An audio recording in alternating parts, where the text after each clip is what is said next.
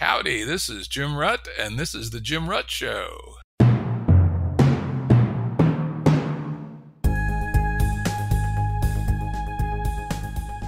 Listeners have asked us to provide pointers to some of the resources we talk about on the show.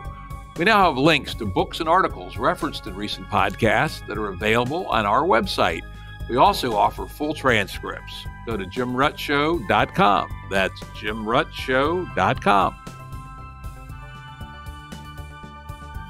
Today's guest is Remzi Bajrami, a self described anarchist Albanian born in 1973 in Yugoslavia, what is now North Macedonia, in a Muslim village near the border of Albania.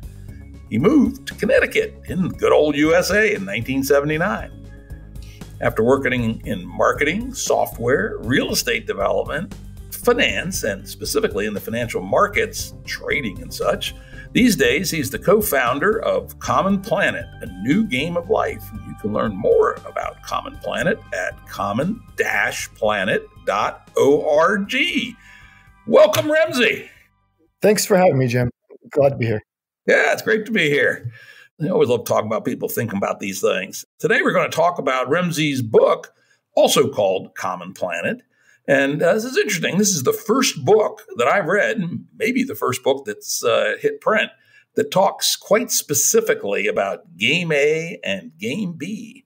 So maybe we'll start off by I'm kind of a little curious. How did you find the Game B community? And then uh, perhaps give our audience, not all of whom are up on Game B lore, uh, what those terms mean to you.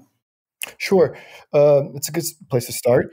The I think the first time I heard the game B terminology was probably on YouTube with uh, one of the Weinstein brothers talking with some other members. So I think I learned about the Game B Facebook community through Twitter. Actually, somebody made a Twitter, Gwendolyn Holt, I think it was, who made some kind of a tweet about, you know, saying, hey, it's time we get some you know action and get everyone together or something along those lines. And she created this coffee channel and those conversations ended up leading to somebody forming game b. And i think i feel like i was i kind of helped to promote a lot of people over to the the channel early on. But essentially game b as you know is the terminology that we're using to describe an alternative to the existing economic game which we're now realizing is the same as what we've had forever which is what we call game a yeah, that's a good place to start. And uh, as the time goes on, it'll probably become a little bit more clear to people. By the way, if people want to learn more about Game B, probably the best way to do it is look at the short film that we recently put out called GameBFilm.org. And then if you're also interested in finding other people interested in the, Game B movement, uh, game-b.org. Better put a www in front of that or it might not work. So if you like what you hear here, uh, come check us out. So uh, early in the book, might have been the first page, there's a, a, quote from one of my heroes, Hunter Thompson, right? Oh, yeah. And so you, you know, my sense is this is what you're pointing at. Create a place for people to live like human beings instead of slaves to some bullshit concept of progress that is driving us all mad. Yeah, he's in, basically referring to game A. You know, this equation of, of economics uh, that, that is captured all of us, and we're trying to escape that. We're trying to escape, obviously, to a, uh, a new system. Yeah.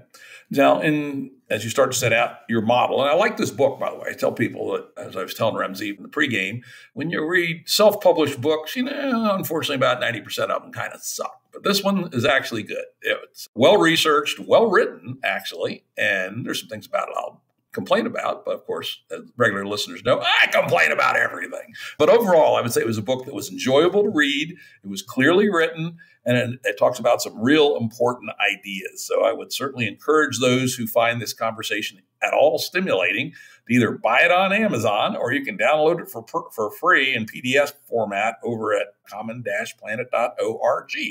So anyway, let's get into the structure of your argument. And you start off by early on. I don't necessarily follow the books chronologically. I, I, I took 306 notes I, I, discovered when I was processing my notes this morning, turning them into my topic sheet. Uh, so I took a lot of notes, and I don't necessarily pull them all in in order. But anyway, one of the important distinctions you make is that in game A, there are essentially three class of players. We're talking about games, might as well have players. You have people corporations, and nations. Why don't you talk just a little bit about what you mean by those three things? It's sort of obvious, but you know, put your gloss on it. Oh, sure. Well, obviously, people are the primary and only real players. But uh, the game itself, the game A, as I describe it, is to own property uh, for its value. And so, who can own property? Well, people, corporations, and nations. Those other two entities are clearly fictional. But the game being, you know, to own things, somebody has to own things. And so, people found that it's more advantageous to own things in larger groups than as an individual for multiple reasons. And so that's why I broke it down into those three categories. I mean, that's really what I see. Yeah, that was my first point of pushback is that you strongly emphasize property. And you quote Adam Smith the division and safeguarding of property occupies the whole world. And I would say that was sort of true back in the mercantilist period, say before 1700, and in the early capitalist days before the Industrial Revolution really got rolling. But I'm going to uh, suggest that while property at some level is important, the real engine of game A today is profit, which is different, right? You know, for instance, uh, you know, a company like uh, WhatsApp had 19 employees and you know a few laptops and a little this, a little that, not much. Sold the damn thing for 19 billion dollars, right? When it got acquired by Facebook, and it was considered a grand success, despite the fact they didn't really accumulate any property. Rather, they created an engine that people least thought would be profitable someday or otherwise fit into the Zuckerbergian master plan to take over the universe, and they got bought off. And I would also say, having worked in major corporations, we actually try hard not to accumulate too much property because one of the financial metrics that Wall Street looks at something called ROMA, return on managed assets. Mm-hmm. And so, to the degree you can get your assets down and keep your profit up on a ROMA basis, which is a very important metric, supports your stock price, things look good. So I'm going to suggest that over fixation on property may not quite be right. Perhaps, but you have to understand uh, the way I defined it in the book is that it is isn't just a physical thing; it's also something you know metaphysical, something that we can believe in. It, it doesn't have to be real. And so that quote, by the way, I think it was from Tolstoy, not Smith. Nevertheless, so, from my view, though, remember my definition of game A is to own property for its value. And so, when you mention asset, an asset, as far as I'm concerned, regardless if it's fictional, if it's a fiction, it's a fictional piece, it's a fictional property. So, it is property from in that form, in that definition. That is. Okay. So that's what I mean. So yeah, I, I can understand the, the, pushback because that word, obviously, many people may be thinking of physical property as a or real estate, or it feels more static than it does dynamic. Sure. When, you, when you're building exactly. a company, you're trying you're trying to build an engine to create profit, right? And it's the engine, it's the output of the engine, not the engine itself, that actually turns out to matter in in business. Uh, just, but let's move on. It's just an interesting little point. I'd also say that uh, obviously you and I and our compatriots aren't the first people to think about this by any means. And you know, one that I think is quite interesting is the Declaration of Independence. Thomas Jefferson. A lot of the Declaration, a lot of the work of the founders was based on the work of John Locke and Locke said that the purpose of political life is life, liberty, and property. Mm-hmm. Jefferson rejected that, actually, and wrote Life, Liberty, and the Pursuit of Happiness, which, well, of course, they actually built a, merc- a uh, commercialist, early capitalist operating system for America. They were at least realizing that there's more to life than just property. There is, but there is no life without property. That's true, too. That's true, too. And so in, a box, you call out that in, game A, all value comes from trading. To extract value by trading property. And this is what I'd like to uh, get into a little bit because I, would say another area that I that you I wouldn't say we disagree, but there, there was, little, from my perspective, under uh, emphasis on. We'll get to more into it more later. Is again when you actually when people actually build a business, even if it's a one person business, they're focused on value added and transformation in, unless they're a complete parasite middleman, which sometimes they are, you know, more so than just trading. Well, from the market's perspective, the entrepreneur, what they're doing is they're purchasing, they're using capital that they got, which is property, right? And they're exchanging their property through trade to buy other property. And they're buying resources, whatever they may need. They may be renting a building, they may be buying supplies, computers, etc all these things are property. They're using their property to exchange. That's a trade. So there's trading involved there. And then they're they're trading their money for these things. They're also trading their money for other labor if they have employees and combining those together and they produce some service or commodity and they're selling the resulting service or commodity for what you were referring to as profit. And that's that's game A in a nutshell, right there. Bam. And so all it is trade. Every single transaction between the, the individuals is some form of property, whether physical, you know, or virtual or I, I, would buy that. Uh, but let me give you the simple example that I used when I was thinking about this. You know, a guy who builds houses for resale as you say, he uses credit or his cash, often credit if he's done this before, buys a pile of lumber, buys some pipes, buys some wire, hires some people, does some of the work himself. Usually small home builders do 25% of the work themselves, something like that. Now, here's the interesting part, and this is the part that I think is sort of missing, is that this pile of lumber, pipes, wire, nails, etc., is only worth a bit as raw material. But if someone knows what they're doing, they can convert this into a house, right? They can turn this thing into, they can add value essentially double the value or more than double the value from the spare parts by adding labor intelligently and that know-how the you know the care that goes into it. And a person can build a house in a shitty fashion or they can build a house in a great fashion using exactly the same materials.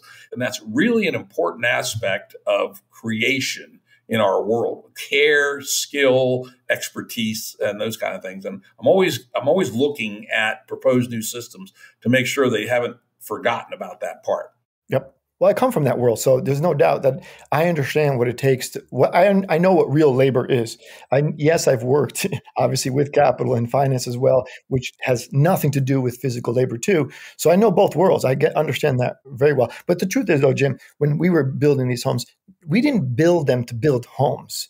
I wasn't doing any of this for, besides the purpose of profit. Period. We had capital. We had the ability to buy land we had the ability to get credit to build the house. We knew all the people in construction. We did some of the construction ourselves, as you mentioned. And so, but all of it was for the purposes of profit. So we're chasing the value through these exchange, through trade. So we're trading all of these various properties that we own to capture more value for ourselves. And in the in the value form itself in this particular game is interesting too. The money, the currency system that we use is, is the way I see it is also property. Because what what we're doing here is we're, we're trading right? And so it's barter but you're exchanging one property for a another property but instead of the problems of barter of having to you know exchange something that the other person may not want the double coincidence of wants what have you the money the money in that value form of money that that kind of property solves that problem. Everybody will be willing to trade whatever property they may have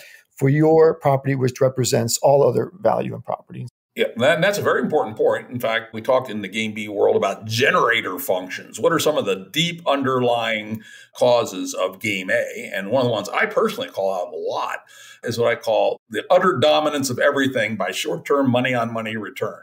By short term, I mean about three years, something like that. And people claim they're operating the long term bullshit, right? If they can't see it in three years, they're not doing it. That's not quite true in every case, but damn well, certainly true for home builders, right? Well, no doubt. You know, the one of the generator functions that I see is the you know, the inner loop of money on money return, particularly in essentially short term, up to three years kind of basis, as a force field that pervasive, pervasively molds game A. And I was very happy to see that you realized that. Now, of course, I think I'm a fellow monetary nerd.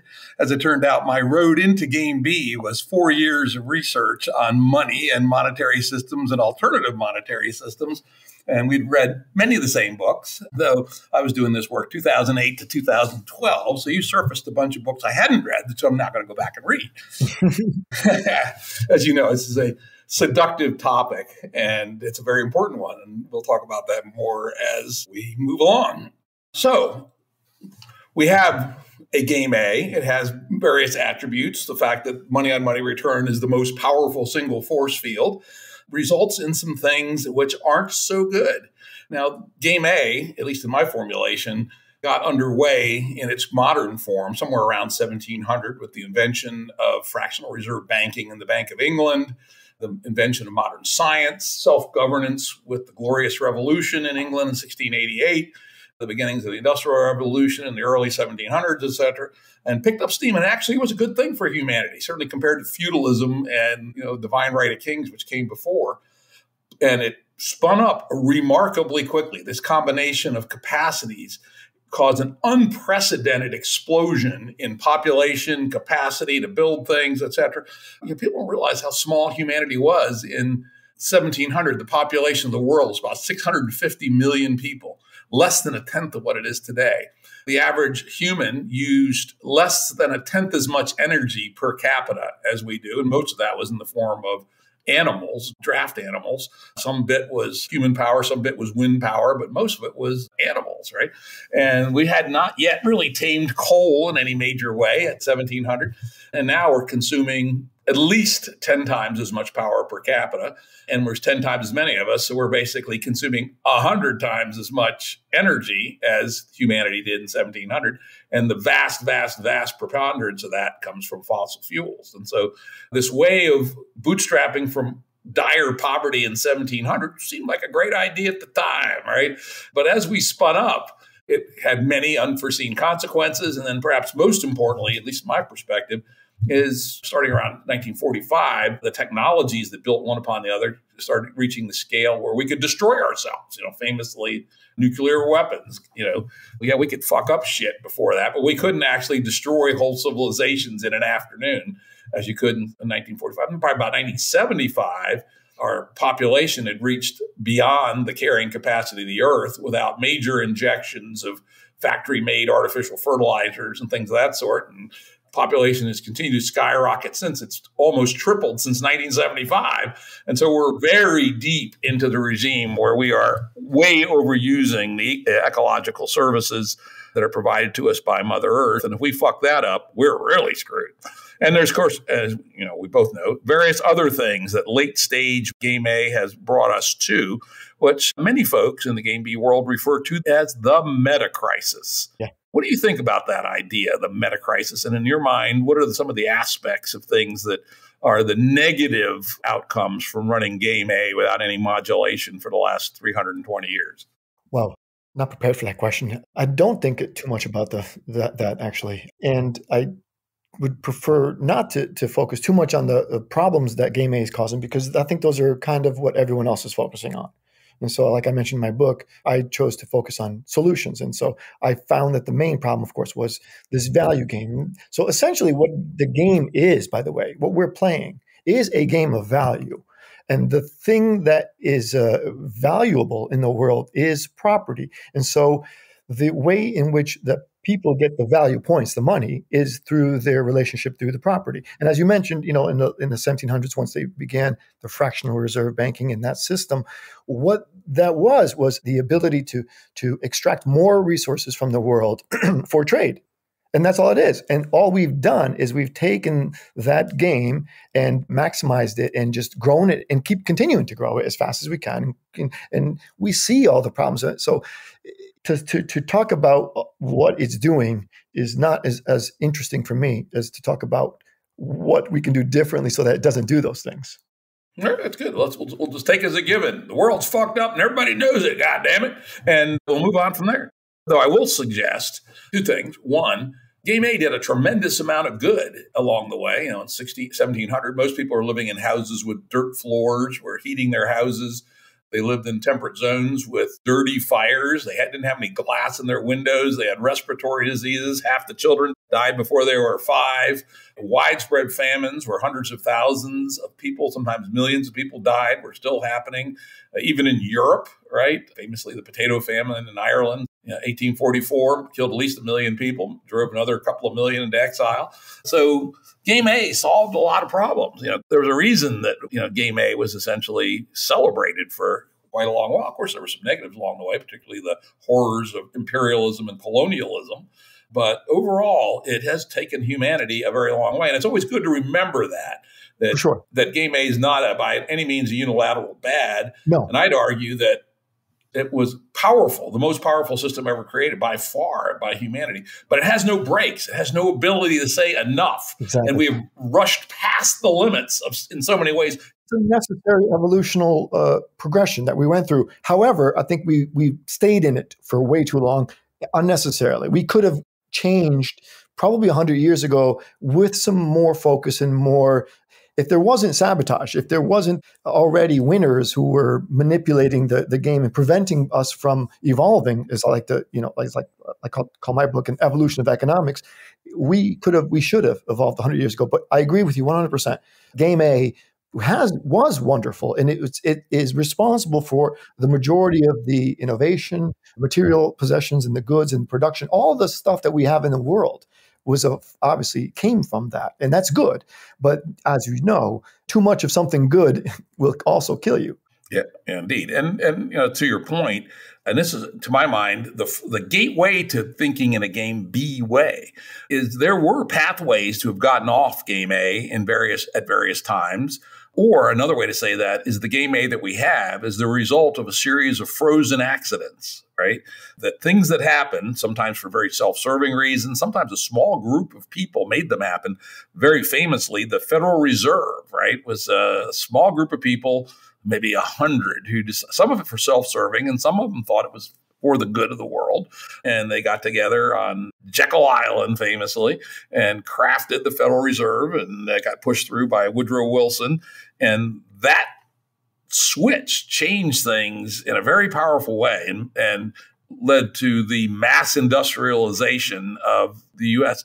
The U.S. was the industrial power of the world by 1913 when the Federal Reserve came into being, but nothing like it was by 1950. So the period between, say, 19, well, actually 1913 and 1975 was powered by first the Federal Reserve and then the Bretton Woods institutions, the monetary institutions like the World Bank, the monetary what's the world the monetary fund fuck's the name of that? Anyway all the stuff that came in after world war ii and then you know another one which is what really let game a off the leash and led to what i'd call late stage game a was nixon taking the us off the gold standard in 1971 at that point finance had no restraint at all right? It was uh, just katie barred the door we're off to the races. And it was since that point that finance became dominant in our society it was always had more power than it should have, but since 1971, it's accelerated until 2006.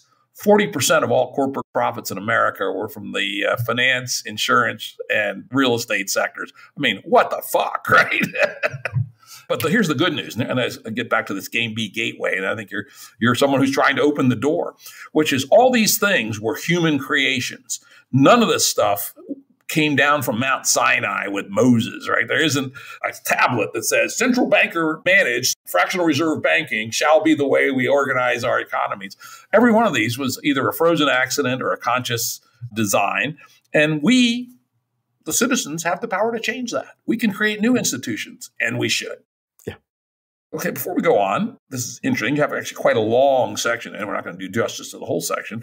So I read in the intro, you consider yourself an anarchist. Now, of course, a lot of people say anarchist, that's just disorder and chaos. And, you know, those of us who've read in the literature know that, yes, there could be that kind of anarchy, but there's also a formal political theory of anarchy, which is how do you organize living without a state? Maybe you could say a bit more about what anarchy is to your mind. Sure. Well, I talk a lot about in the book, and yeah, a whole bunch. I didn't want to, but I, as I went through it, I realized that you know maybe I have to because a lot of people don't seem to know it. But essentially, anarchy means without rulers. And uh, like I mentioned in my book, if you remove, if there are no rulers, and what do rulers do? They make rules, right? And what do rules do? They help to organize us so that we don't kill each other, so we know what the game is. So if you remove rulers, though, then then you question, then the rules come into question. And if people don't have faith and and the rules are no longer there to organize things, then there's going to be chaos. And so eventually, of course, anarchy came to also be synonymous with chaos. But that's not true. Uh, you know, you don't necessarily have to have rulers. You can still have rules and be and have anarchism, and that would be stateless or, or without you know because the state is our today our ruler. And uh, David Graeber, who you quote a few times, one of my favorites, has a lot of good, lot of good material on how one could imagine living without a state. I really love his book, The Utopia of Rules, for instance, which is a brilliant book. And of course, one of the foundations. And if you haven't read this, I will give you $100, which is Debt the First 5,000 Years, right? Uh, that's a must read for anybody that's interested in these questions. Absolutely. But I will also say, and this is a, a Jim Ruttism, probably more than it is even a Game B ism. I frankly don't think that the way forward is going to be compounded by the 18th, 19th, or 20th century isms. No. You know, we can borrow from them, but the problems they confronted were very different than the problems we confront. And that uh, I think of the challenge of the way forward is to craft a new way, a new social operating system that borrows where appropriate from these previous thinkers, but really starts with a pretty blank sheet of paper. And that, you know, again, in game B land, sometimes you get into these ugly arguments between the capitalists and the socialists. And I go, just shut the fuck up, dudes. You know, I'm not really interested in either I'm interested in the ideas, and I can quote them endlessly of Adam Smith and Karl Marx, but neither of their systems are appropriate for the next hundred years. God damn it. So stop arguing about the isms. No doubt. It was a function of their time, though. You know, the what the the the isms had limitations of, of the solutions, the game B, as it is. Wasn't possible really uh, at least certainly not during marx and uh, absolutely. Not to say that the isms weren't appropriate for their era but the isms were built for i mean without computer networks without blockchains without you know lots of stuff. Yeah you can't do uh, game b things probably. No doubt. Well from my perspective the the reason why i say this is because you know if we're looking at game a as uh, as you know who's managing property and collecting value for our contribution, our production, and and through the movement of stuff, then that's game A. And so the socialists and the commun- uh, the and the capitalists are both, you know, say, their argument essentially break, breaks down to who should own the stuff, who should be the primary owner, if you will, of the of the value. But see, I identified that as the actual problem itself. Yeah, I think you were absolutely right about that. That state capitalism, as the forms of socialism or really have been just another form of game A. Just as you say, who owns the property? Who owns the capital goods in particular? And you haven't actually gotten to the, to the problem. Now let's move on here a little bit. And this is this is again a key question that all people interested in social change ask which is do we reform the system as it is by you know voting for the slightly less evil motherfucker or do we do something else and you pulled out one of my very favorite quotes from Buckminster Fuller You never change things by fighting the existing reality. To change something, build a new model that makes the existing model obsolete. It's a very popular uh, quote. Obviously, a lot of people are using it nowadays. Bucky was obviously ahead of his time. If you read his stuff, the man is just beyond brilliant, certainly. But yes, you, you're not going to be voting for you know uh, change, be, at least not in the present way. I, there is a obviously I have a chapter transition that I talk about a little bit briefly about this kind of stuff. But so I don't personally believe that we're going to be able to vote, so to speak, at least in the in the political arena. There may you know we may be able to vote theoretically, kind of as a culture, as a as a peoples on Earth, but not through uh, you know it's not going to happen through voting some politician in America or Europe or any of that because what are you asking them to change and you can't change yourself that is you know like why can't you propose it yourself Yep. And I'm going to hit a cartoon that you posted in the book. I thought it was pretty funny. It was 80s, 90s, double aughts, and tens. I could make it the 20s, but in the 80s, pick up your litter and save the earth, all right? 90s, recycle and you can save the earth double aughts, reduce your carbon footprint, you can save the earth. Tens, or 20s or 30s, completely restructure global economic systems, and you may be able to save a remnant of humanity. That's a damning description of our reality right now. Again, consider the psychology of what our children are going through. Um, imagine you and I, when we were younger, don't even tell me that you thought the world was going to end. Well, no. we had the nukes hanging over no, our head. The, the, nukes, yeah, but um, end in the sense that like this is feels more real. Though the nukes was obviously a real, it's a real potential catastrophe. However, this is uh, uh, this is actually happening. You know, these children really believe that that the nuclear bomb basically was already thrown. It's just going to take hundred years till it lands, but it's it's already been launched. And so the psychology of these kids, I God, man, I don't know what they're going through. It's got to be terrible. Yeah, but I do remind him we did have the nukes, and we thought the nukes were real. I grew up seven miles from the White House, and we just assumed there'd be a white flash, and that'd be all she wrote. But it, it is true that we're back to those days, and in some ways, in a more pernicious way. That it's not a bunch of rolls of the dice. If it comes up snake eyes, you die, as you say. It's we're fucked, right? Unless we do something different. We keep doing what we're doing, we're just fucked, and and kids know that today. Yeah, it's sad. It's not good. Yeah, yeah. Got a lot of other stuff we could we could do, but I want to skip over that and get to the plan itself. All right. So uh, now as we start getting closer to the plan itself, under your terminology in Game A, we have three classes of people: masters, slaves, and the useless. It's funny. I often throw out the fact that you know one of the signs that Game A is just broken and depraved is how can the richest country in the world have thousands of people living homelessly on the street. That's horrible. I mean, you know, no society, no decent society, no society anywhere in the world has ever done that before. It is not because these individuals, by the way, don't want to play or don't want to participate in society. It's that they physically we can't. They literally can't. The they don't have any property. They don't have any capital. They don't have any assets. They have nothing from which to participate in this exchange game of trading that we're playing, and so they can't play and so they they've been rendered useless. And this is not my phrase, by the way. This is not my term. I don't I don't consider them useless. That's a negative, uh, you know, phrasing. That's Yuval Harari uses that term, and he calls these folks useless because the system has made them useless. You know, it's not no again, it's no knock on these folks. You know, they they don't deserve to be there. They deserve to be able to participate in society how to whatever degree they want. And if that means you know they don't want to participate at all, so be it. They should have that right, but they should be able to survive. Yeah. And you know, again, I always use that as a metric. Is, is any proposed what comes next, any proposed game B, is it designed such that there aren't people starving on the streets, right, or living living like animals on the street? That's just fucking unbelievable that the richest country in the history of the world would have hundreds of thousands of people living on the street. It's just crazy. So now we're moving forward a little bit further. Let's skip over generator functions and that kind of stuff, multipolar traps, even. It's interesting, but we talk about that other places. So, next, one of the ideas thrown around by the tech lords is UBI as the solution to all these problems. And oh, by the way, it probably would take care of the homeless problem. But why is UBI not enough? Because of the nature of the uh, game that we're playing, creating currency in like I mentioned is property. And so when you're creating more of this property as a UBI and you're introducing into the game, you're going to affect the the values and prices of other things. So essentially what you're doing is you have to continue playing the circulatory game and you're going to have to figure out ways of redistributing the currency in order to be able to provide the UBI.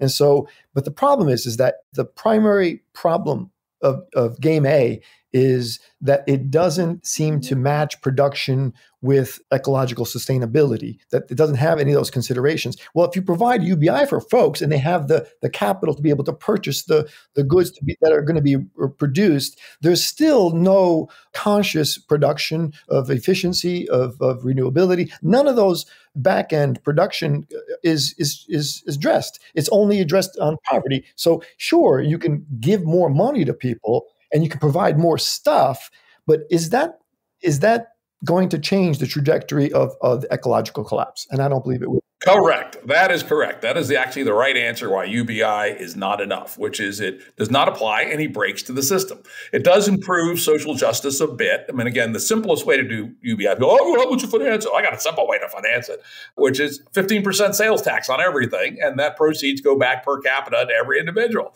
And so the average person would get 85% of 15% of the you know per capita GDP, which is enough to live on.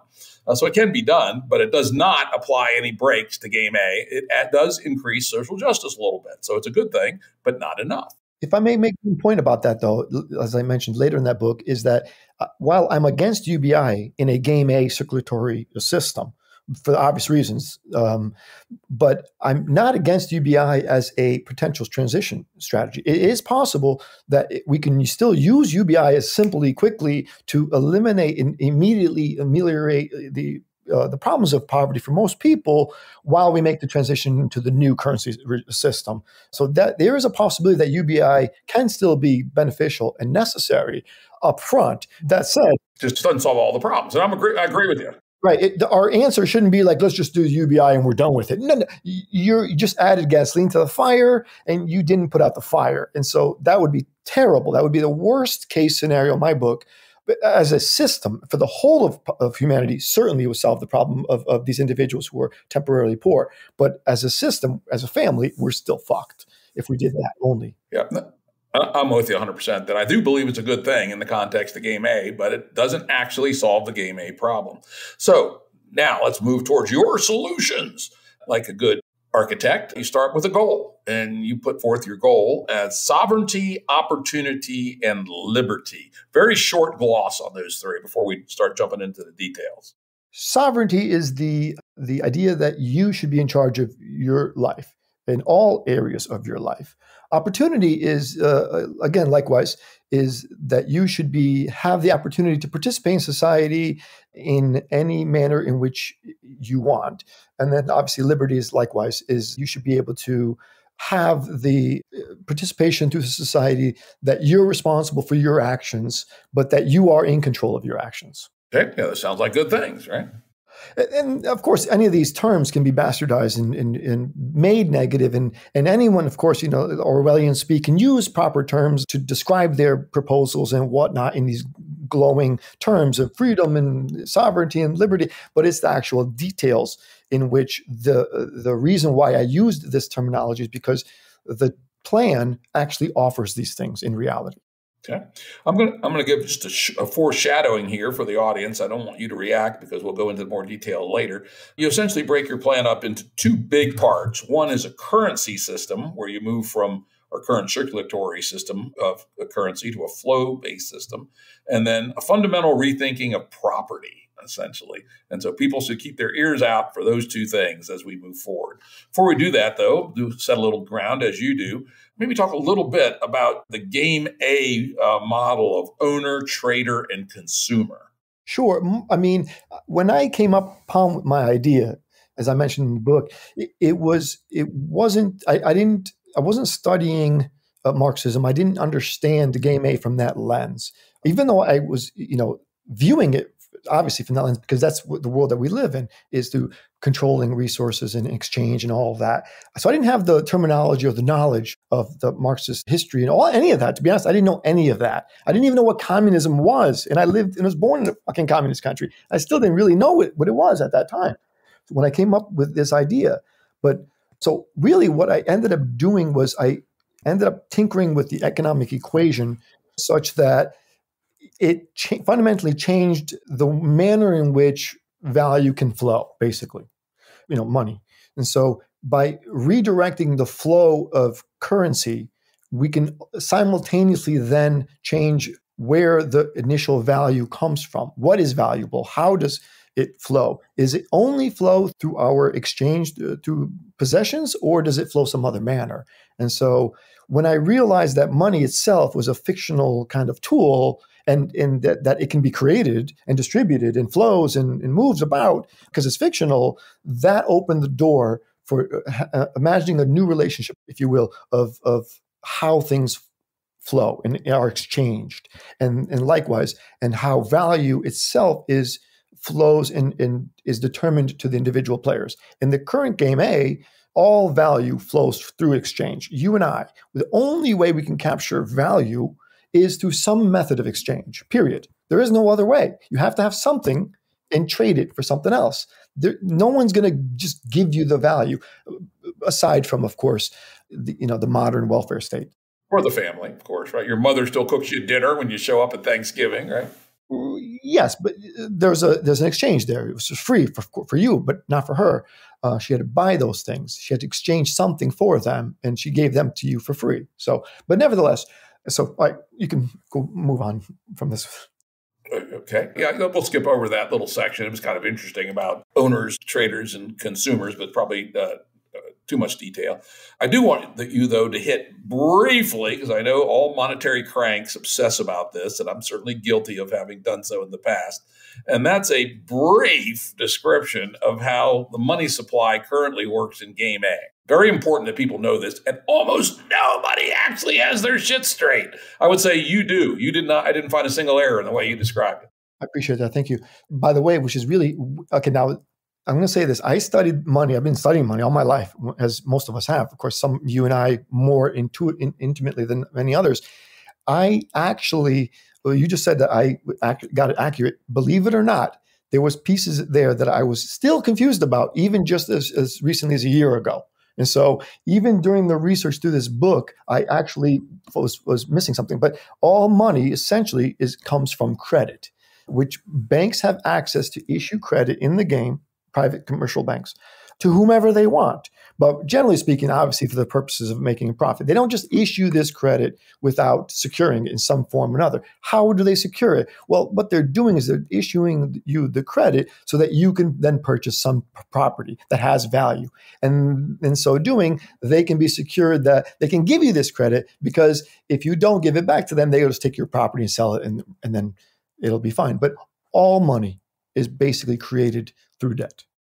And particularly is very, very important for people to understand that when a bank make the one the one factor that they've somehow been managed to obfuscate is when a bank makes a loan, they are not loaning the depositors money. What a bank does is they're creating new money, actually, and approximately 90% of the money in circulation in the United States and 95% in the UK, which is actually even more banking intensive than the US, is actually created out of thin air, quite literally, by the banks. And they issue a loan and they literally just put new money in your account. However, what people often miss, and you do mention this, though maybe you don't put as much emphasis on it as I would, is that also when loans are repaid, whenever you repay capital on a loan, you are destroying money, actually. The money disappears. And it's this uh, modulation function that the banks have, which actually is good. And it's one of the reasons why the invention of fractional reserve banking turned out to be this gigantically positive thing for humanity, particularly when it was in a very capital intensive stage of industrialization, because the banks kind of breathe in and breathe out. You know, they breathe money in, they breathe money out. In the United States, other than mortgages, the average length of a loan is about three or four years. So the whole money supply actually turns over every three or four years, which allows money to be reallocated from one sector to another. It's pretty cool. On the other hand, there's some problems with it. Built in negative and positive feedback loops, unfortunately. You know, when things started getting hot, the banks say, oh, I can make more money by lo- inventing more money and putting it out there. And well, we're all going to get rich on the interest, right? Well, so the money supply grows, the economy overheats beyond what the real needs are and the capacity of people to execute, prices go up. Then guess what? It crashes. And then the banks overreact. They call in loans, even very sound ones, right? And so and so the working money supply decreases. And essentially, I'm pretty convinced after having read 150, 200 books on this topic, 500 scientific papers, written computer simulations, that if it was not for this very interesting invention from 1694, our business cycles would be much, much milder the recessions, the booms and the busts would be much, much milder than than they are uh, due to this institutional structure.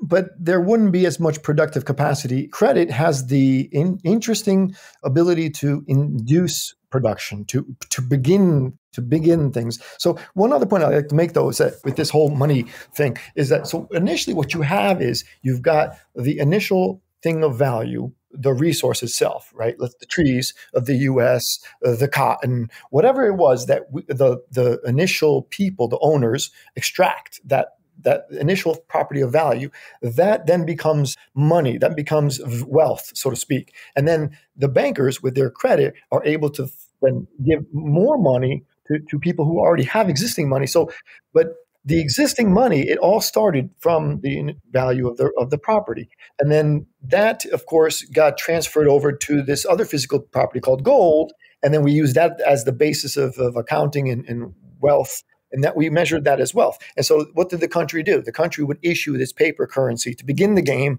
of circulation with currency, but being backed by the physical gold. Now, what the gold represents, kind of, is the same as, as the other physical wealth of the world, right? A house is wealth, a, a train is wealth, a car, real, uh, you know, all these things that we produce are valuable. They, they are worth something. So they add wealth to the world. And so currency is just used to, to essentially trade, exchange that wealth. And so we're playing this huge game of, of capturing wealth through the stuff. But the primary source of wealth itself is still, even though, as we say, banks are you know issuing credit and creating money out of thin air, so to speak, they are.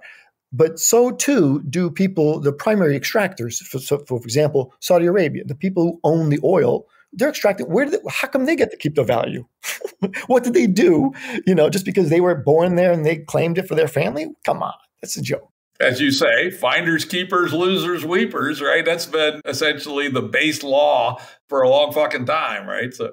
And by the way, if you're a little stronger, you just take it away from the other guy, and now it's yours, right? Right. So, but if you look at, at this uh, problem uh, of the game that we're playing from through a family perspective, you would immediately recognize that what these people are doing is they're claiming things that, that aren't actually theirs. They're the families.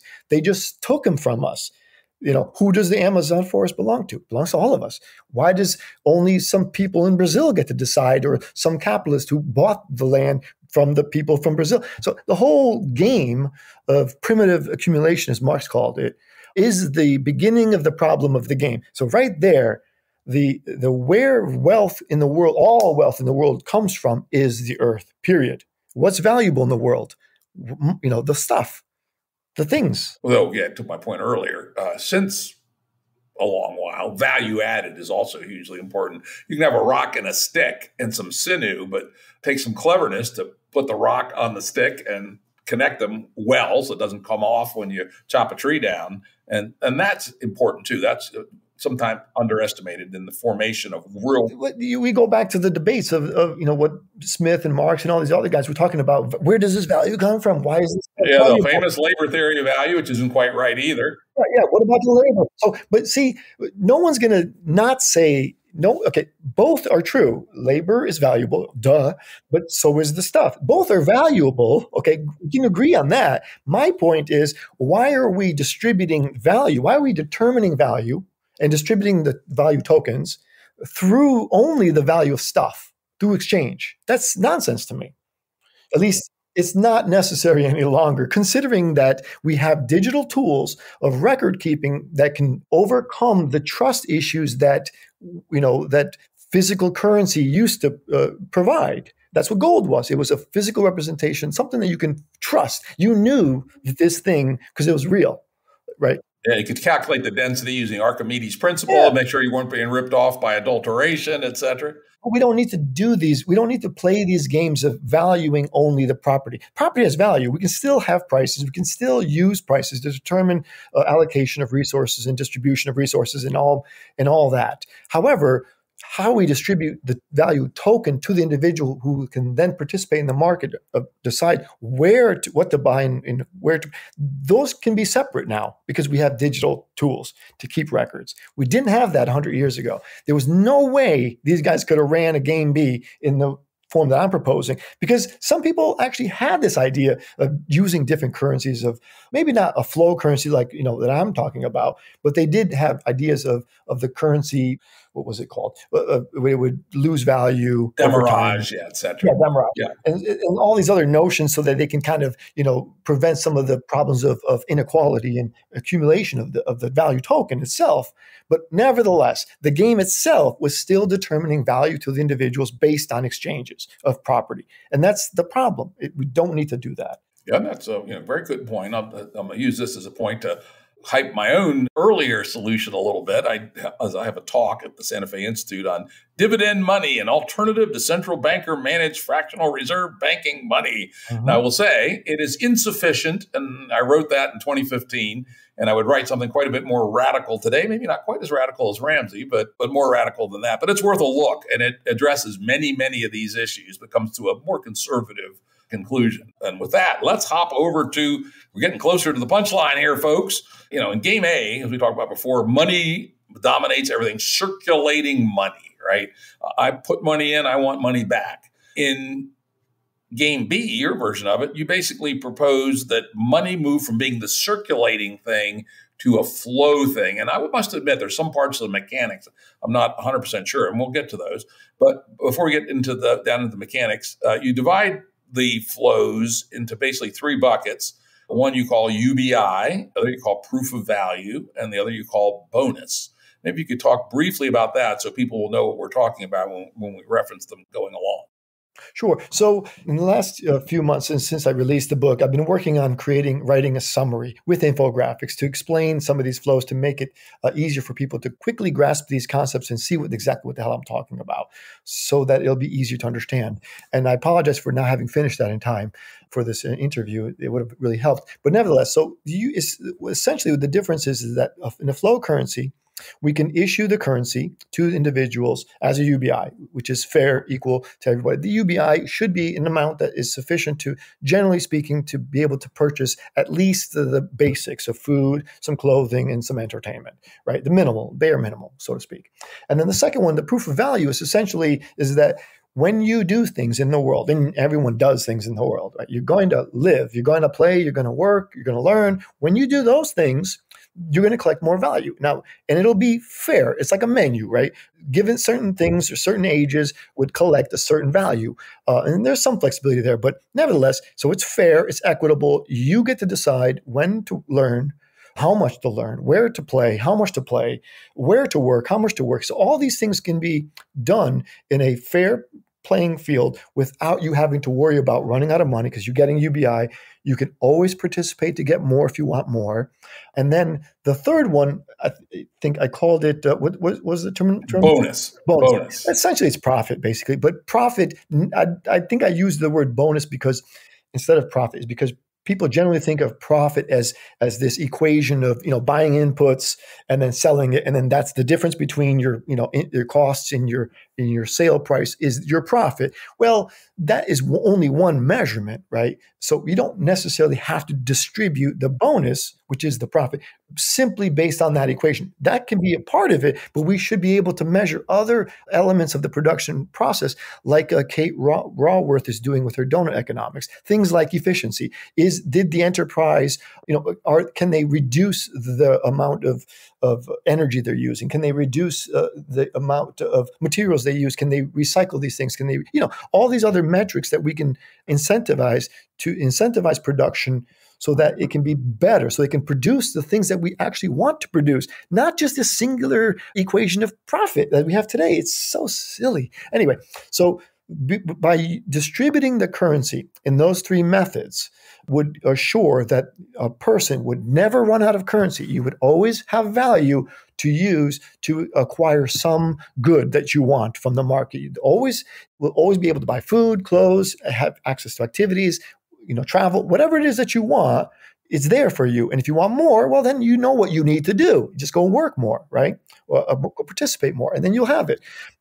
But the neat thing about this currency system, the flow currency, is that is that because it's flowing directly to you, not it's not circulating to you from somebody else. You didn't get the UBI through redistribution. It didn't come to you from somebody else's pocket.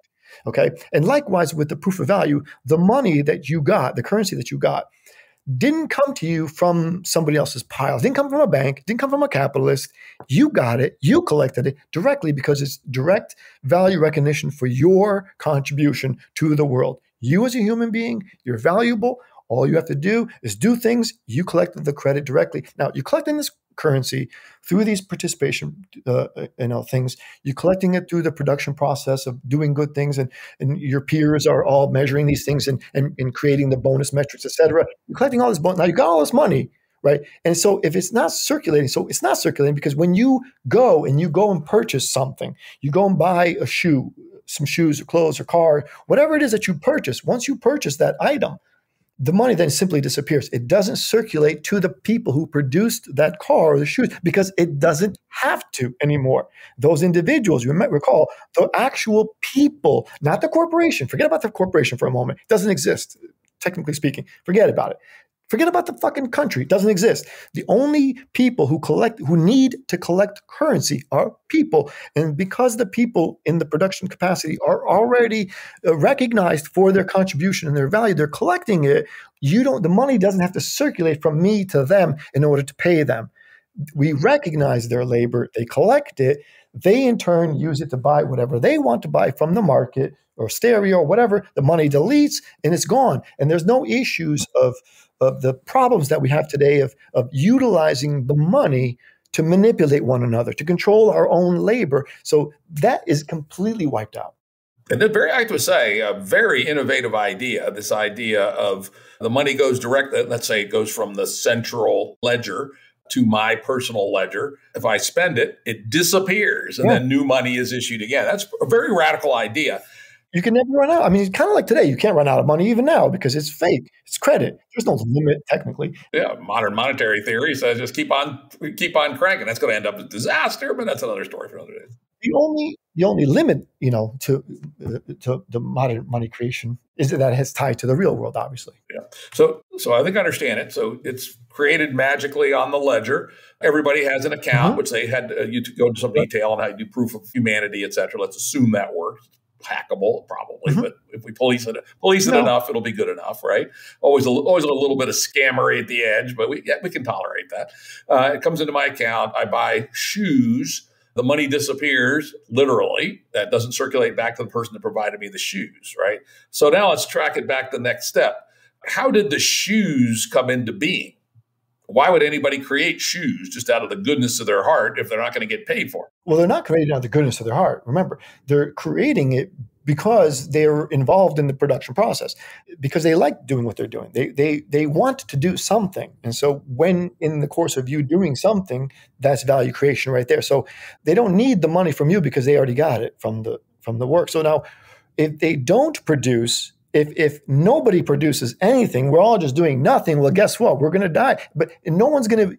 You're going to be able to see everything that's being done because we're, we're working on a shared ledger. We're, we're able to, to manage and account for all of the resources, where they're flowing, who they're flowing to. Now, these resources, they still have price. We're still using a currency.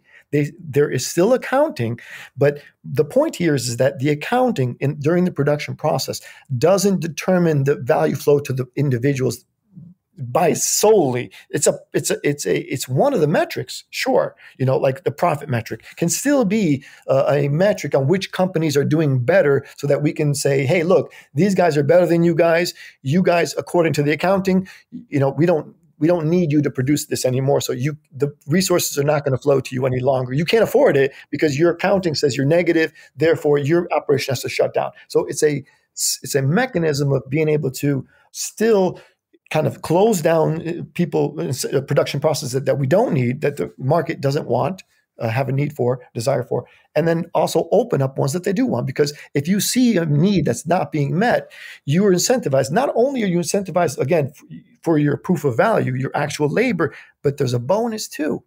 By you producing something that people want you're going to get even more money for that. Not just the money, though, Jim, as we know, you're not just getting money, dude. You're getting recognition. You're getting respect from your peers. So we know that what's valuable in the world, it obviously, is not just the resources. It's our relationship with one another, our status, all these other uh, things that you can't quantify through the value, uh, uh, through the currency, and through the value measurement. But that's something I would add to your system in, in a version 2.0 is some formal recognition for those kinds of things that are orthogonal to the actual currency system. But that's another story for another day. So now, now we're getting to the meat of the matter. And of course, the classic pushback on systems like this is, you know what the question is, the calculation problem, right? Mm-hmm. Which is uh, the holding started way back, but it was most clearly stated by Ludwig von Mises in 1922 in a paper called The Calculation Problem, which says that figuring out what to make, how to allocate labor, allocate resources, et cetera, is a problem beyond central planning, beyond any form of coordination other than edge calculation, so that the participants themselves make the decision hmm, there's not enough shoe manufacturers in the United States. I'm going to start a shoe manufacturer. And by my guess, by the time I buy the leather, buy the other materials, hire people, pay the middleman, I can make a profit. So there's a signal that goes all the way from the transaction back to the decision to organize the work and even what kind of shoes to make, right? If I make like Russian style clunky grandmother shoes. No one's going to buy them. And famously, Russia made as many shoes as the United States, but nobody wanted them, right? Because there was no signal back, no subtle real time signal back. Mm-hmm. And so that would be, I would say, the first pushback here. How does the decision to make shoes, particularly shoes of a specific design, a specific mix of sizes, colors, etc., get made in a system like this? So it's it's a dance between the, the consumers and the producers, right? Is the, the consumers are telling you the two ways. Number one, they they may be pre-telling you, "Hey, look, I want, I'm gonna, I'm, I like red shoes, or I'm gonna want to buy a TV, you know, six months, or I'm gonna be, this is what I'm gonna be purchasing. This is kind of the goods that I might need." So you can you can kind of guess all that stuff, but at the end of the day, there's also information through the market of what's being purchased. Like, what are people actually, forget about what they said they wanted, what are they actually buying, right? And so all these things are happening uh, through the market. Now, now, the same mechanism that Game A uses, this profit incentive, right? Just like saying, hey, look, if you take the risk, if you are willing to, to go out there, you can make more money if you do all this stuff. And it's the same thing in my version, except that there's no risk. The risk is that you will fail and you can't continue doing what you know you wanted to do or produce because you suck and other people are better than you. But the reward is the same in the sense that if you do this, you can make more money through the bonus, through the bonus, oh, right? And so, so here's an idea I had while I was reading this. I actually wrote it down in the notes, which is if we think of three knobs, let's say we have a total amount of this personal credit flowing in the three buckets: UBI, proof of value, and bonus. You can adjust what percentage goes into which of the three buckets, and if you put all of the money in the bonus bucket, it's essentially game A, very damn close to it, right? Um, no, no, it's not because again, the it, it would still be a, a better game. It, it, would no, because the currency would still be flow in this manner. Like uh, remember, the the the bonus is in accounting is based on accounting of, of trade of exchange, like the prices of the stuff. So there's a number there, there's accounting there, but the bonus itself isn't solely determined just by the actual accounting. There's more to it than just that. It can be more complicated. Yeah, that's, interesting. I'm going to have to do a thought experiment later. What would happen if you took Remzi's model and put it 100% into a bonus? How would that work out? It's just interesting. Well, these are the kind of things, though, Jim, that I was, I'm hoping that are possible, and they probably are, to simulate. Yeah, well, yeah, we certainly should. I can tell, talk to you about how to do that, actually, if you're interested. But the key here is that the primary thing I think I want to show the world or, or introduce to the world is this idea that currency should not circulate as property because it is in this it is in this form in which we all are basically fighting and trying to you know kill each other for and manipulating each other over over control and access to because that's the only source of value. But by removing that as that that's the secondary. Like obviously we want to produce and incentivize people towards production and distribution and we need an allocation system of prices to be able to determine you know where to allocate resources. Those are all true but that's why we have a pricing system. That's why we're still maintaining a currency. However we've separated it from the mere equation of of, uh, of, of profit this is all very interesting. Again, the, the you know the, the, classic challenge is that the reason uh, for circulating money is that it provides a free signal on what to do.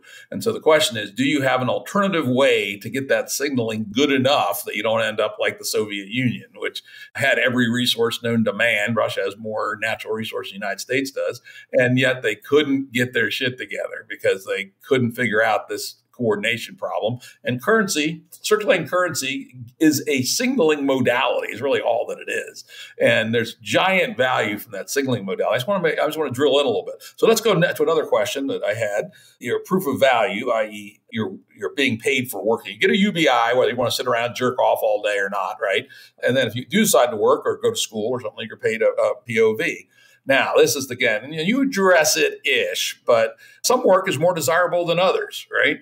And uh, yet on your scale it's based on a menu of you know what kind of work it is, how skilled it is, but it's not really fine grain. No, and it may turn out way more people want to end up being yoga teachers than working in a shoe factory. Mm-hmm. And again, in circulating money, you know the von Mises problem. Well, guess what? If there's too many yoga teachers, there ain't enough students. Very, very quickly, they go out of business and they stop being yoga teachers. Well, same here. You know, you just because you are allowed to do whatever you want to do, that doesn't mean that doesn't necessarily mean that the market or the community actually values that thing. And so, the difference between, of course, this and the central planning of this is not central planning of the. You can have this should be a combination of central planning in the in the in the sense of centrally managing how much resources to extract from the earth and where to extract them but where to flow those resources isn't planned isn't determined by some agency or some, like like it was in the Soviet Union. We're going to you know ship this many trees or this many shoes or rubber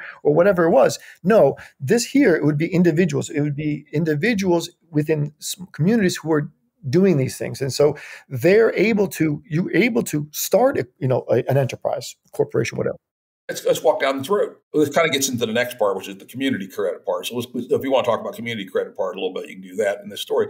So, two people decide they want to start a yoga studio, right? And so they get together, and as I understood your community credit piece, they come to the community and they say, "We need a little resource." So, the community's bank of space community says, all right, this sounds sort of reasonable. Let's create a, a, yoga studio. We don't know if we have too many yoga studios or not because we don't see a price signal. Oh, we don't. There's, there's no way to know if we have too many yoga studios or not. Probably. Well, you can because you, you, have digital uh, mapping technology that maps and tells you everything that exists in the world, even in your community, instantly. Okay, that's that's a good point. So, so we so we know how many people are currently using them, how many people are doing yoga every day, at least willing to pay for it, right? And so we do know that. So you can make some extrapolation. Is it reasonable to add another yoga studio? So let's say you do you do add one. Well, it turns out that these two people suck at running a yoga studio. You know, they just don't know enough about yoga. They're unpleasant. They don't keep the place clean, right? They just suck, right? And so this thing has been authorized by the community, has been given space, has been given a little startup capital. And here's the important part it's now hooked into the POV. So the two people that run the yoga studio get paid for showing up every day, even though they're doing a shitty job. How does the cycle close and they get shut down? Yeah, so uh, the exact details will uh, vary from community to community because the idea here is to allow communities the maximum opportunity within this flow currency system to do things how they want. So they may actually do things differently than other communities. But generally speaking, though, Jim, that it, the the users, the the people, the students, so to speak, at the yoga studio will essentially have some kind of mechanism to tell you, hey, these guys suck, or and through participation. If they're not going to that studio anymore, they're going somewhere else. Well, then the resources, the calculation of the of the resources is they're still there. We're still calculating the prices of the resources these individuals are using. They're still in accounting, but that the individuals themselves don't have to suffer the loss, so to speak, if they, if they risk, you know, because they're risking their kind of. So there's like in today's world, you know, as an entrepreneur, you're risking every time you're starting a company. There's risk there. Uh, but here, there's risk here too, but there's no risk of loss. There's only risk of you sucking and getting shut down. Okay, that's good. That's good. Okay, this is helping. So let's let me let me build the model a little further. So a virtual P and L is created by the computers in the cloud for for every unit, and you know, Two Fools Yoga Studio has the costs allocated to it of an imputed capital cost for the space plus the POV being paid to the two instructors. And oh, guess what? Nobody is paying for the service, so the P and L is a minus, you know, twelve thousand dollars a month. And so then there has to be a governance mechanism, which says, you know, a naive reading of POV, it says you do whatever you want and we'll pay you per the menu, right? Well, that's true until someone stifles one of the organizations that says Two Fools Yoga is a completely sucky thing. How does it kill? How does it get killed? You know, and the beauties of capitalism is it gets killed automatically. It runs out of money. Well, here too, it would run out of money because those two brothers, morons, whatever, they while they may have the space, they may, because they may have already leased out the space for free from the community, may have already agreed to give them the space for a year or two, right? We don't know and let's say it's a year. And but and it turns out these guys suck but we can't get them rid of the community can't get rid of them before the year is over yet because they still have they got the lease for the year and they and we gave them but here's the thing though jim they have a credit account right so they still have some things that they need they may very well have eh, eh, at some point the energy may be free the water may be all these other resources because they're plentiful they may end up having them for free but there's still going to be a cost of stuff right they're still going to have to buy equipment some balls or not much So that's why i use the yoga studio you know, you don't need much, right? right. So you're right. They, they won't. But you're getting your POV. You're getting your salary for not doing dick and not investing anything and being a fucking fool. How do I stop them getting their POV? But that's exactly right. So, so that enterprise, the two uh, yoga instructors may continue to re- collect their proof of value through their labor, but they won't get any bonus because the, uh, the no none of the customers are like them. There there is no relative to the other yoga studios, they suck, and so the others are going to get the bonus. They're not, and so there's no profit for them. And if there are any physical materials that they actually need for the studio, anything they need to buy, and because they're not profitable, they're going to have to buy it from their own pocket, and they won't want to do that. Well, it depends how big the POV is. Again, this gets to this ratio question. If the bonus is way bigger than the POV, it starts to look more like the solution to the calculation problem. To the degree that the POV is much bigger than the bonus, that looks more like salary. Because, you know, most businesses, salary costs are 65 to 70% of total revenue, right? So if POV is like about the size of salary, then you know the fools will just sit there, collect their salary, not do dick. No one shows up, and you know they sit there and, watch internet porn all day. This is a problem that is solvable with the flow currency system though. But like and, and again that community not every community is going to say you can have the place you know with regardless of the accounting for the whole year. No no they may say they may say there's a mechanism for us to remove you from that space if, if, the community so decides. If it turns out your service is not wanted by the community and we have a limited space availability for other activities and whatnot that other people want to open up, well, then we're going to shut you down and give it to somebody else. Yeah, that's my that's my point. Is there has to be a there has to be a kill switch on bad companies, right? And there can be, but remember the, the idea here, though, though Jim, is that to allow and if you notice, I separated into three different communities to allow the local community to make those decisions. The, the more closer that we allow individual people and their local community and so on and so forth to make decisions, the better. And I agree with that. That's a game B principle. Subsidiarity, uh, the, the, closest to the people, the better. For most, as much as you possibly can tolerate, and a little bit more. I like what you said there because you know what you're alluding to is that yes, see, while I haven't modeled the numbers, it, we can change the numbers of the UBI. We can change the proof of value mm, numbers. And We can change the bonus allocation. So all these things in this formulation are changeable as necessary. So so we can prevent any issues like you just mentioned about you know these morons doing nothing but but they're collecting value when it's not really valuable. That's not right. We can fix that because remember we control the value points. Yeah, and, and then I think, but you know the way you describe POV, it's kind of menu based, so you can't, you can't change their salary, but you can shoot them. And, and so I would I would suggest adding to your system the kill switch. That there's some mechanism by which enterprises can be killed by some democratic process or even some algorithm. Uh, okay, they've taken on no revenue for two months, right? And they've collected their POVs, and it's a kind of business that if you don't have revenue in two months, you obviously suck. So therefore, you die, right? Exactly. No, there will oh, there will be for you happen to pick a business that basically doesn't buy anything and doesn't have anything. So that's a, that's why I picked it. That's why it's a pure example. But but we answered it. But but generally speaking, the majority of the enterprises have inputs that they have to pay for, and so there is an accounting, and so they can run out of credit and not be able to continue. And so the credit, just like in capitalism, it does determine what continues and what doesn't. Naturally, without the community saying, "Well, we you, we think you guys suck," no, the market said you guys suck. It's not us. The market is telling you stop. Yeah, see, in this case, it won't because they'll collect their salaries. They won't do dick, and so you need a, they need an alternative method to kill them. No, it will though, because like I just mentioned, they won't be able to continue to purchase things because they ran out of credit. Yeah, that's what I said. the yoga studio, you don't need anything. Oh no, anyway, let's, let's move on. Let's move on. Let's move on. You know, no, no, system is perfect. I caught you on one corner case, so you need to fix that. But that's all right. You know, that's not bad, right? So now let's move on to the next area, which I also thought was very clever, is this concept of community credit. So you have credits that flow to directly to the person for buying things for themselves. And then, if I understood it correctly, and correct me if I'm wrong, the community credits also go to the person, but they have to then be sent from the person to a enterprise. It's called let's call a legal entity that represents them in some sense. So you like you mentioned three levels. I think you probably need more than three, but that's all right. So you have your face-to-face community, you have the equivalent of your county, and you have the equivalent of the state, something like that. Three different layers, right? And those get money from the central money machine every period. And they have things they're supposed to spend money on. You know, it might be like you give the example, and this is a very important one, it's a big number education. Somebody's got to be responsible for civilizing the uprising children. Otherwise, you end up with a bunch of goddamn savages, right? Now, we need something better than our, than our sausage factory, horrible state indoctrination schools. But to, to get really good teachers is not inexpensive. I mean, for, for a county level governments in the United States, the number one expenditure by far is education. So that's a good test case. So let's say your test uh, maybe regional is where education happens, or maybe it's local. I don't know.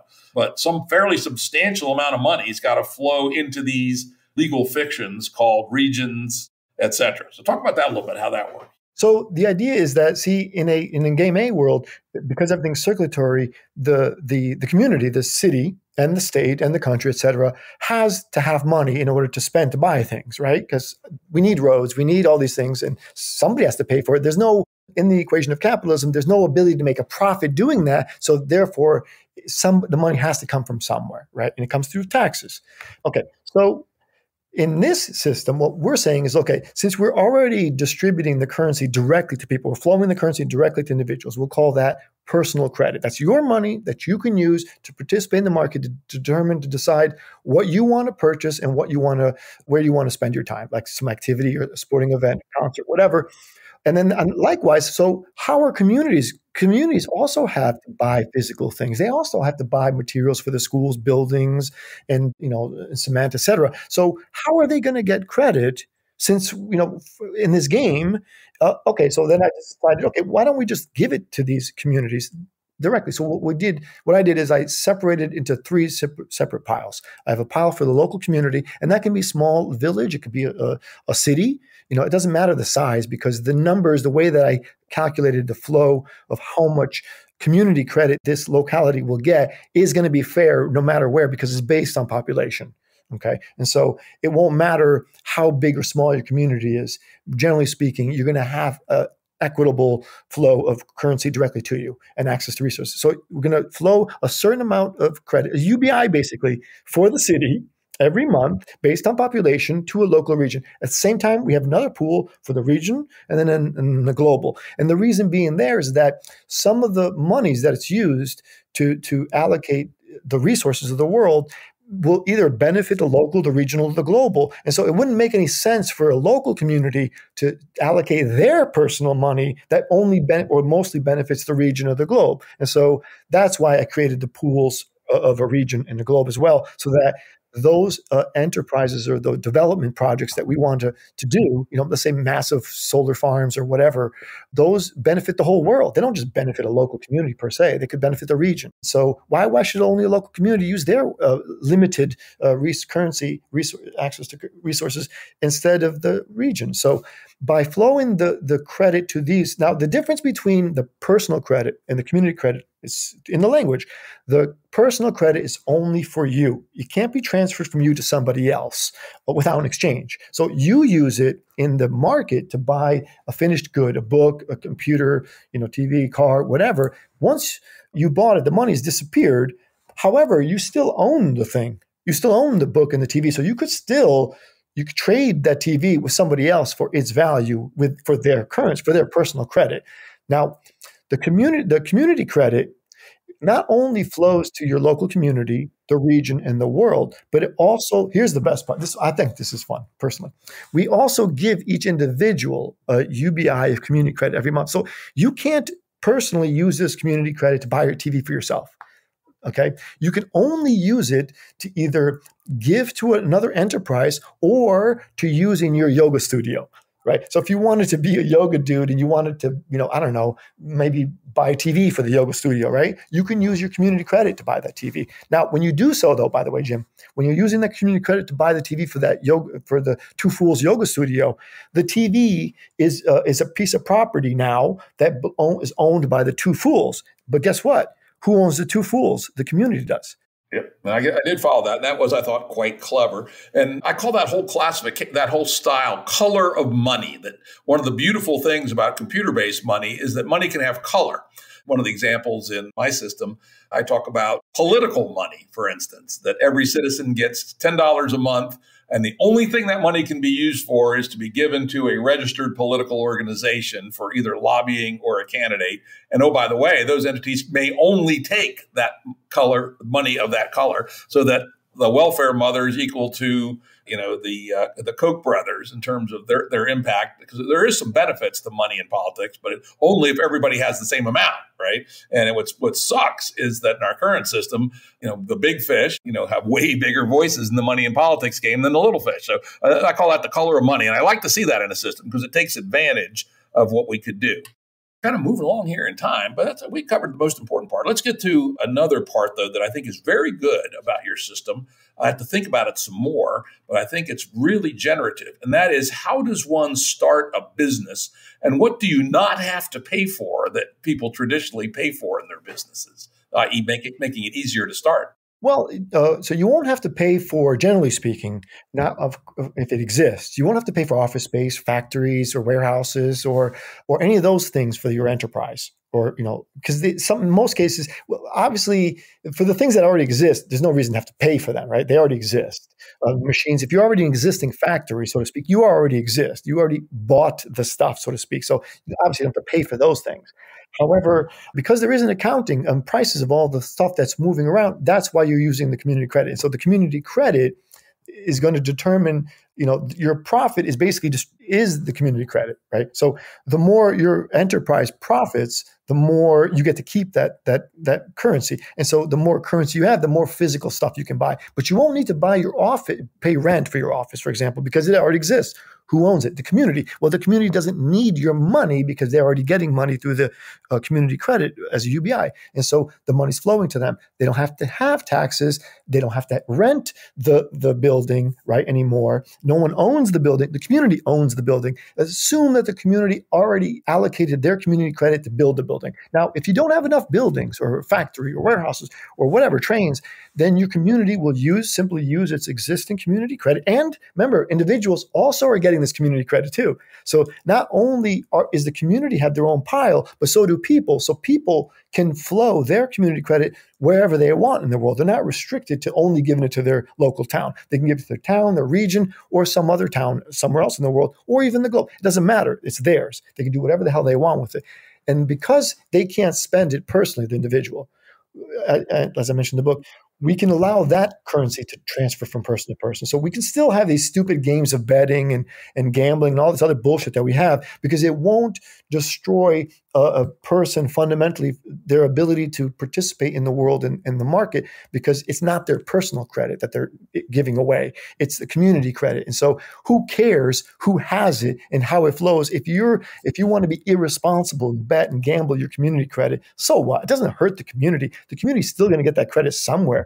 You know, it's just that you didn't get to decide where it goes. Somebody else did. Anyway, nevertheless, so the enterprise won't have to pay for rent. They might not have to pay for energy costs if it's sufficient, if there's no cost to it. In some cases, there will be, but they will have to pay for anything physical that they need, all their inputs, right? If, if you're a factory and you're making bread or whatever, you got to pay for the wheat and all the grain and whatever you you need. So there's a cost there, and you're using your community credit. You have an account, and so you're paying for all that but there's also a price that you're selling. And so we can determine the profit mechanism. Now, some enterprises are not the same. Just because a particular enterprise that's making bread, let's say their accounting doesn't show a profit because bread seems to be easy to make and plentiful and, and it's cheap, and it doesn't seem to be producing a profit, so to speak, for the enterprise. All none of the bread makers are profitable, right? Well, then we just reduce the the baseline where the baseline number is, so to speak, and to, to determine the bonus, the actual you know profit. That makes any sense. Like it's okay if you're on, a, an accounting basis if your enterprise is, is supposedly losing money because we're not playing the game in a circulatory regime. So it doesn't matter if you're profitable from that perspective. The only thing that matters is whether you're profitable in the sense that the community uh, needs or wants what you're actually producing. And so ultimately the accounting is going to reflect that. But in terms of your costs, your only costs really are your inputs. And the key thing, when you didn't explicitly mention, I don't think, is you don't pay for your people, right? And again, in most businesses, your payroll is your biggest business expense. No, hold on. No, no. Okay, so yes, you, you're not paying for your people though but earlier you mentioned this and you alluded to this and this is the genius of this by the way this system i think. I didn't design it i mean this was all by accident kind of like you know step by step and what if we did this? Anyway so these are thought experiments these are questions that i asked myself that led to this but now that i see it of course what it does though jim is that okay, so even though you as the enterprise don't have to use your credits to pay for these people, the cost of the labor that you're that you are paying these people is a part of your profit of the bonus. Yeah, virtual P and L. Yeah, so I fig- I figured that out. I figured okay, that good, out. Good. So yeah. so there's still a, an opportunity for some business to say, look, we need, we're more profitable. I can pay people more, and so they, there is an opportunity for them to increase the proof of value for those labor to to make sure that they are able to attract and incentivize the labor that needs to get done, basically. So there is a P and L function there, but you're right from a personal perspective, the people who began the enterprise, none of their personal credit is going to be going to pay for the labor, period, ever, which is beautiful.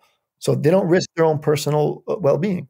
Yeah, and of course you'll end up with more bad businesses this way, but that's all right. That's Possibly. not the end of the world, Possibly. as long as you have ways to kill them quickly. So I would, you know, I would say, you know, spend some time thinking about the kill switches, and you know, the system will produce people who want to do X, but that's okay. And again, that's it's think of all the waste we're getting rid of, right? We're getting we're getting rid of all the bankers, all the fucking real estate goddamn brokers. You know, how many kinds of useless parasites will we be getting rid of? We can afford to take on a little bit of inefficiency elsewhere.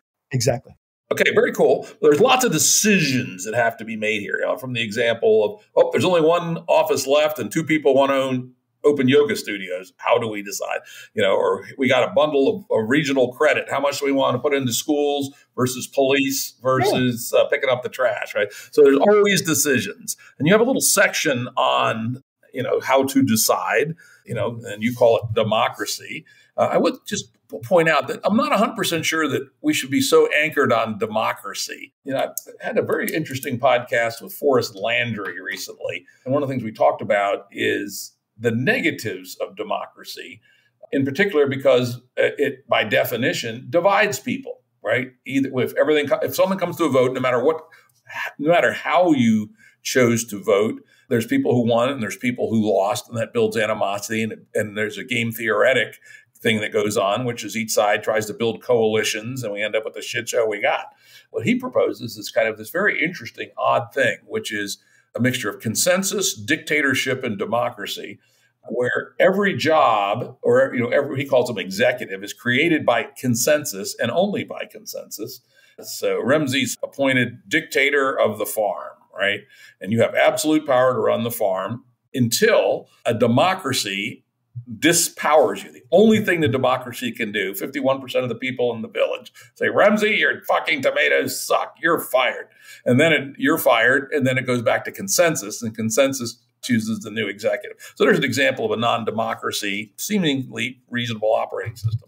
But nonetheless, you know, let's use the word uh, democracy. And you list some of the interesting ones participatory democracy, deliberative democracy, direct democracy, which can work just fine in small communities, and my favorite, liquid democracy. So uh, maybe give a little bit of thought to how are decisions made Okay, so the, again, generally the idea here is to allow decisions to be made from the uh, individual on up. And so the more that a decision impacts you, the more say you should have. And that's the kind of democracy that I'm imagining. Now, if a decision doesn't involve you, let's say, for example, obviously what to do with the money of a town which in which you don't live in, well, you don't have a say, obviously. They're not going to give you a say.